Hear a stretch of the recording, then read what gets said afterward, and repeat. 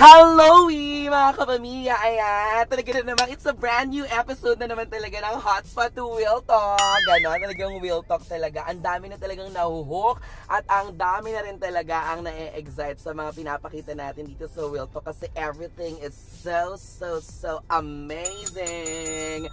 And today, makakasama natin ngayon ang uh, sobrang bonggang-bonggang special guest natin na makapanood natin sa pelikula, 'di ba? Ang The Debutants. Oo, ito si uh, Michelle Vito at syempre pa si Miles Ocampo. Ayan. Hello, yung mga friendship. Yes. Tara. Ano ka ba? Bawal lahat, walang, walang hindi pwede dito. Grabe naman kayo sa ayoko. Hello. Kamusta? Yes. Hello, yes. Ayan. Yes, ang diba? bango naman po ng ano ninyo. Ng car. Ng car lalo nyo. Oh, na wala, wala, wala. Ang ganda, diba? O, kamusta muna ang boy-boy bukod sa pagiging busy sa pag-promote ng The Debutants? Pares kaming nag-aaral.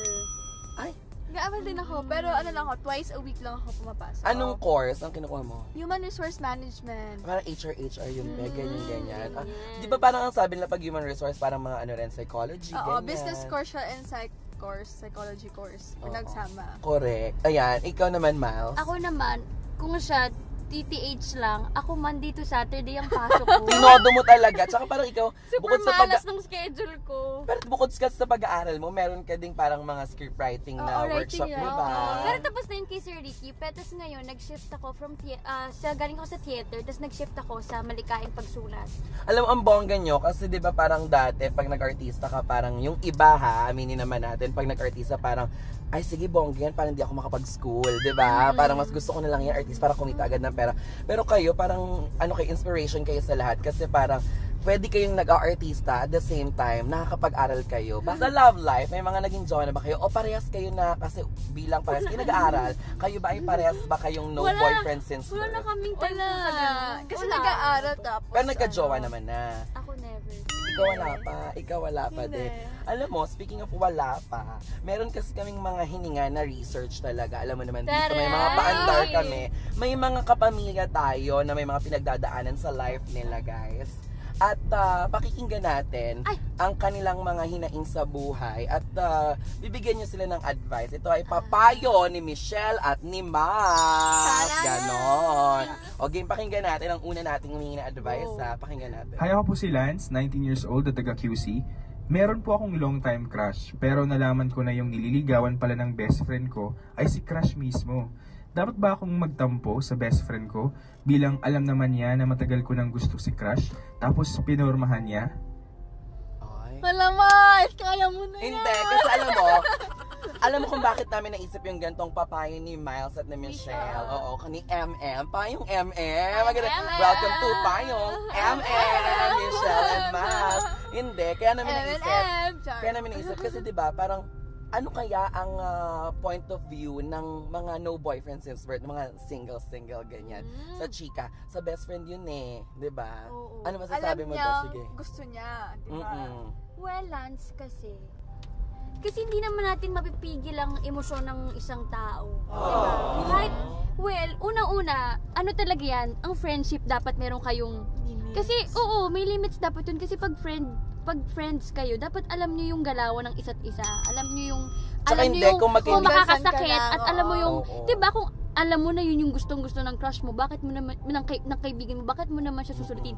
Pero at the same time, ang love kasi, hindi mo mapipigilan. Kasi walang tama o mani sa love Correct. eh. So, paano kung si best friend? Hindi niya yung mapapigilan. Nilalamig ka ba sa, sa ganap Hindi, di ba paano pag si best friend hindi niya na napigilan? Wala rin naman tayong magagawa doon. Siguro lang, ang mali lang doon, sana, in-advise niya muna bago siya gumawa ng... ah, Way ng ligaw-ligaw oo, moment Bago na, siya oo. gumawa ng step para kay, ano, Pwede ba kay ng, ng crush. cash, cash lang naman niya? Oo, crush niya. Tapos yung best friend niya yung nanligaw dun sa sila So, nang Lance, bahala. kayo nang bahala. Kayo ang magkaibigan. Lance, Wag, Mag- mag-usap kayo. kayo ng friend mo. wag mo kaming idamay.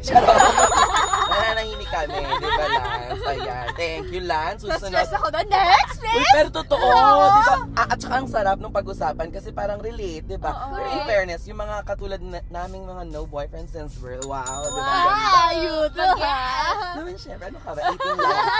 Okay, next, pakinggan natin siya.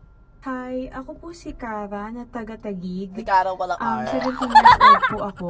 Nagkaroon po ako ng boyfriend for almost 2 years and I must admit na nagkaroon kami ng bad breakup.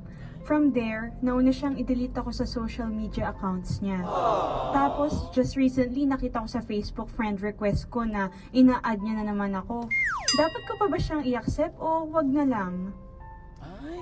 Okay. Hmm, Wait. Two years. Wait, ang tanong, halimbawa, kayo, pag meron ba kayong crush, meron kayong mga friends na naririnig na ganyan, katulad niya, ba- bakit ang girls, laging kapag may breakup, may mga pinagdadaanan, unfriend, delete agad? Bakit may ganon? Is it a sign of moving on o sign ng bitterness? Ano Hindi, ba? minsan Hindi sign naman ng moving bitterness. on. Parang Oo. siguro, gusto mo lang i-cut yung communication para mas madaling makakatulong para makalimot ka. Kung ika-cut mo lahat. Pero, minsan, well, oh, darating talaga tayo sa point na ikakat natin. Pero, katulad nga ni Kara, Na walang R? na walang R.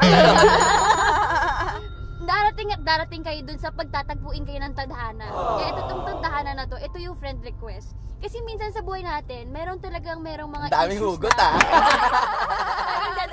May mga issues talaga na na hindi siya pag sinabi mo kahit tapos na kayo, akala mo yun na yun.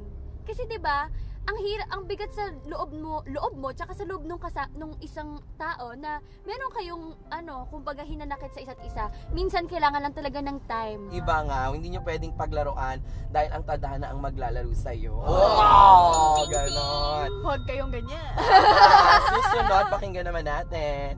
Ako po si Christine, 21 years old, nakatira sa Tondo. Working na po ako ngayon at may boyfriend since college pa. Kaso lang po, sa sobrang busy ngayon sa work, ay nawawalan na ako ng time sa kanya. At madalas na din po kaming mag-away. Sign na po ba ito na dapat muna kaming mag-cool off?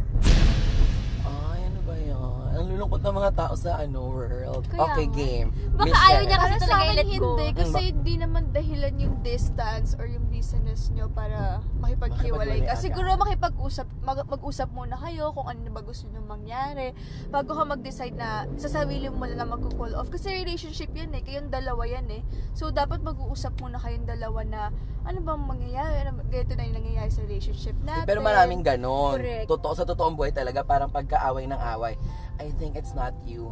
It's, It's me. me. Di ba yun ang sikat na sikat? Di ba?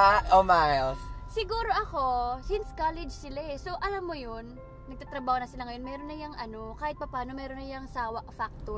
'Di ba Yung parang, Tsaka marami na silang nakikitang ibang tao na correct. na pero tama ba yun na kapag may jowa ka tapos nakakita ka ng ibang tao na mga Hindi, better mali. mali di ba Hindi, Mali Mali. yun. Kung hindi mo sabihin sa jowa mo, pero kung i-acknowledge mo talaga yung nararamdaman mo na, sorry, nag-iba na ganyan. Pero sa case ni Christine, kung college pa lang sila na, tas yung term pa niya na dapat dapat po ba kami mag-cool off, so ibig sabihin, ayaw niya pang mag-break Eh, sila.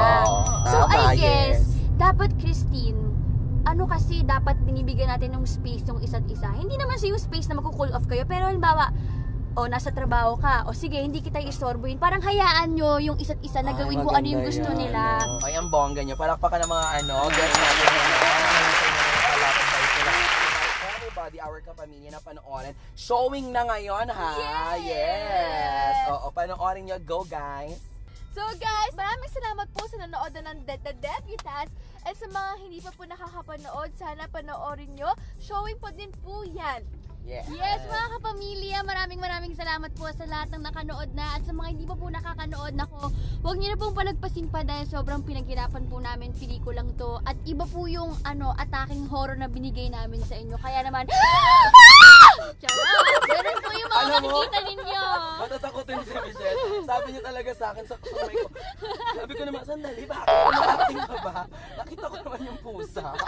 Ah, nakita mo ba? Nakita ko, oo. Tapos, Kaya ko nga mag-wiltok ng bagyo eh. Ah, okay. Siyempre, kasama po namin dyan si Chanel Morales, Jane De Leon, Michelle Vito Masocapo, and Sue Ramirez, directed by Direct Prime Cruz. Sana po, panoorin ninyong lahat. Thank you, mga At syempre, kapamilya. nahandog nito ng Virgil Films Entertainment. Bongga! Panoorin niyo po ang The Debutants mga kapamilya, starring syempre, yes, sina Miles, uh, sina Michelle, si Chanel, si Jane, at si Sue Ramirez, directed by Prime Cruz. Thank you so much, guys. Thank you! Mag-selfie na tayo dito. One, two, three, and...